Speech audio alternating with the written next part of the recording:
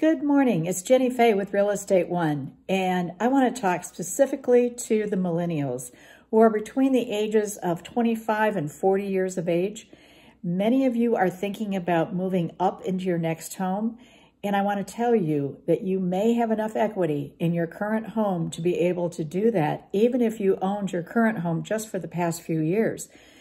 I was reading an article and it said that in the last quarter of 2020, and that's not so very long ago, there, the average homeowner gained $17,000 in equity in their home, and that's in just one quarter.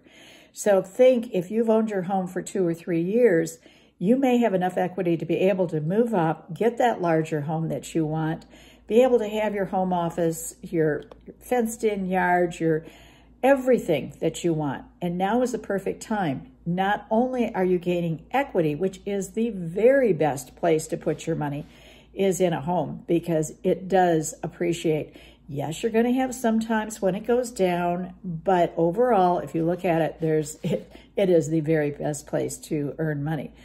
But not only that, your interest rates are at an all-time low. And right now, they're averaging around two and three quarter percent interest.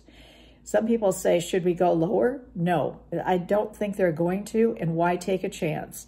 If they do anything, they're probably going to go up a little bit, which could be about 3%, and that does make a difference in your monthly payment.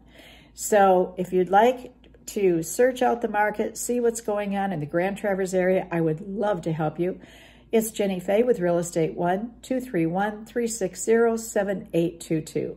Thanks. I look forward to meeting you. Bye now.